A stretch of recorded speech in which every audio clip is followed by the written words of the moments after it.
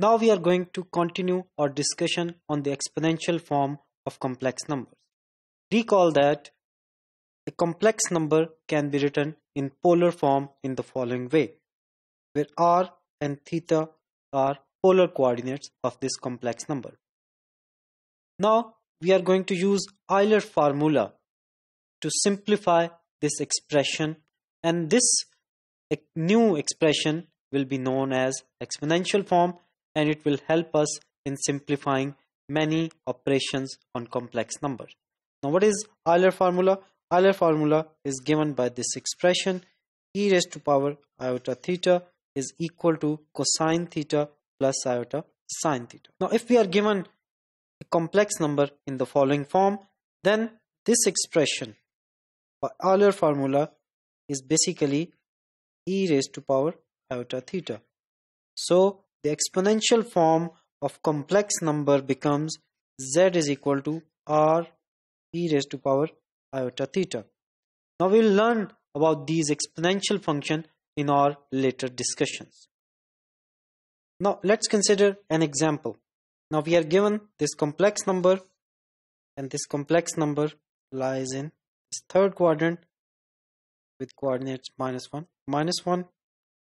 Now we have seen in our previous discussion that the polar representation of this complex number is given by so the r coordinate is square root 2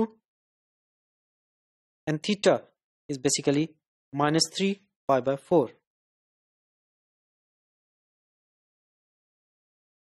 plus iota sine minus 3 pi by 4 now we are calculating this angle in a clockwise direction. So that's why we are taking it to be negative. Now using Euler formula which says that e raised to power iota theta is equal to cosine theta plus iota sine theta we can write down the exponential form. So the exponential form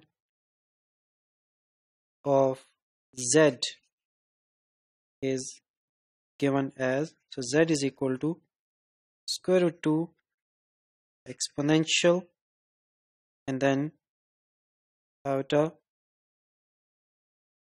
minus 3 pi by 4 or we can also write it down in the following way.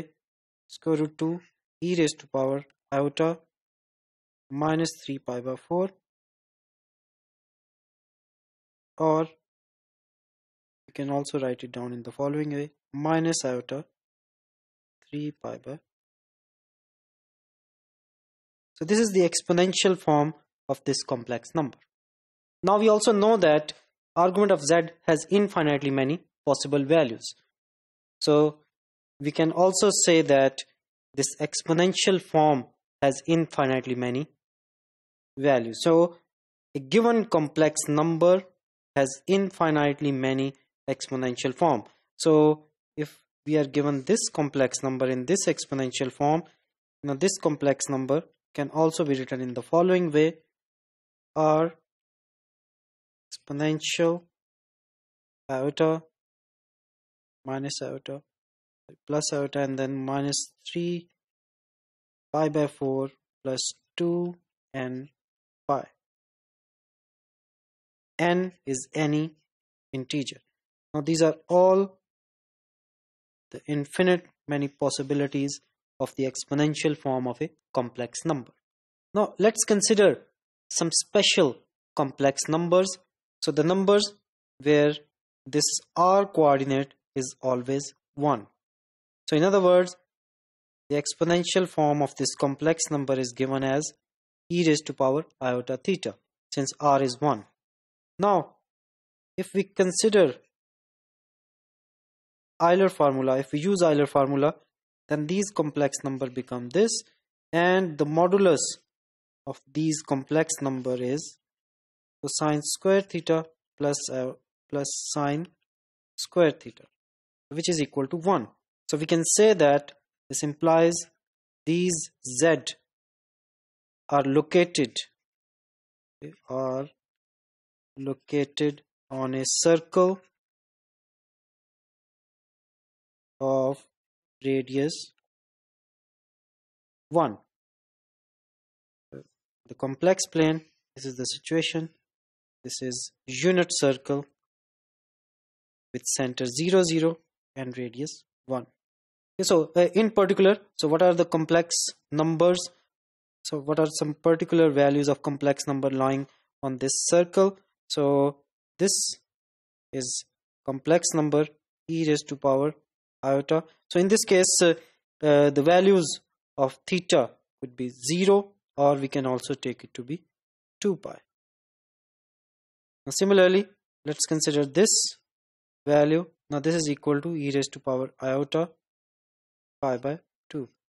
Similarly, if we consider this complex number, then it will be equal to e raised to power iota and the value of theta is basically pi iota pi and similarly we can also find other values on this circle if we consider theta to be equal to pi, then we have seen that this z is equal to minus 1. Or we can say that e raised to power iota pi plus 1 is equal to 0. Now this is known as Euler's identity.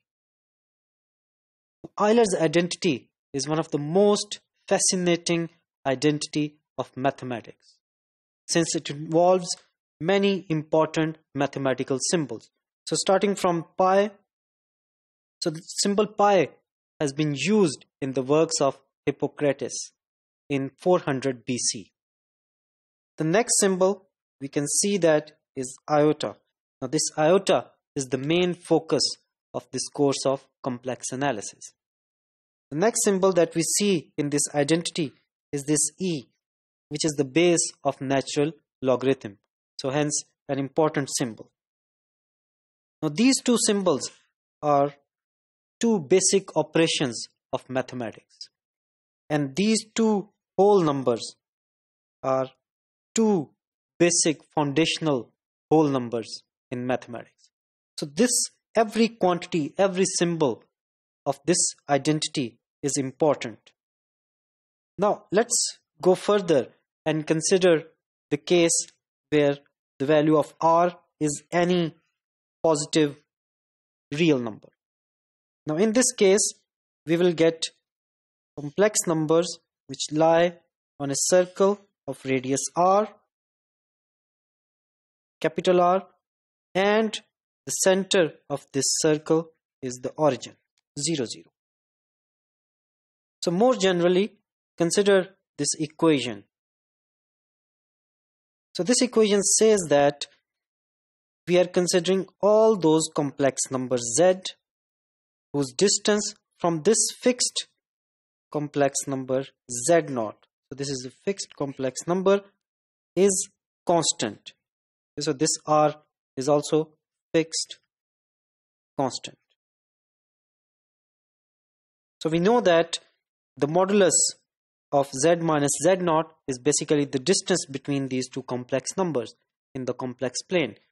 So this equation means that set of all those z complex numbers whose distance from z naught is equal to this fixed constant r. And by definition, this becomes a circle with center z naught and radius r.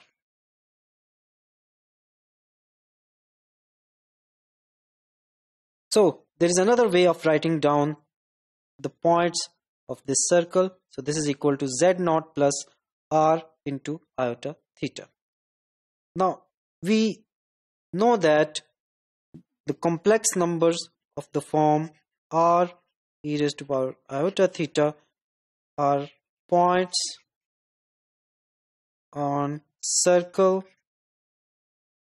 with center 0 0 and radius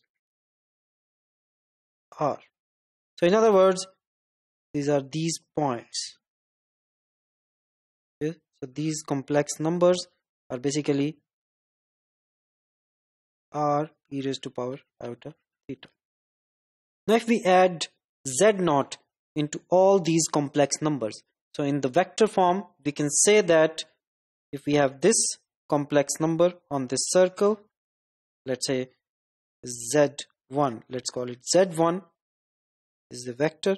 Now we are adding the z naught vector. So this is the z naught vector into this vector and hence we are getting this is the z naught vector in the parallel and hence we are getting this new point which is z1 plus z0 so in other words in the vector form we are getting points on this circle and then we are adding z0 and then we are getting the points on this circle.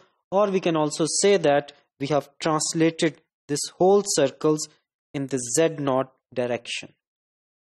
Now let's uh, use our knowledge of exponential form to solve this equation. Now we know that if we are given z minus 1 equal to 2 then this is a circle with radius equal to 2 and center. So this point is basically the center. So in this case this is 1 0 and we also know that if we consider z is equal to e raised to power iota theta then this implies it's a circle with center 0 0 and radius 1 so if we want to solve this equation then geometrically speaking we need to find the intersection of these two circles. So let's consider this complex plane so let's first sketch this circle and let's call it S1. So the center of this circle is 1, 0 and the radius is 2. So in other words, this is 1 unit, this is 2 unit. So we will be getting circle the following form. Okay, and now let's consider this is our S1 now let's consider this S2 circle. Now this S2 circle has center 0, 0. This is the center and the radius is 1. In other words, it will pass from this point to this point. In other words, we will be getting this circle. So this is S2. Now we can see that the point of intersection of these two circles is basically this point. So we can say that this equation e raised to power iota theta minus 1 mod modulus equal to 2 has solution theta is equal to pi. So only for this value of theta we will be getting uh, e raised to power iota theta minus 1 modulus equal to 2. Now we have seen how to calculate exponential form of a complex number and how we can do simple calculations using this exponential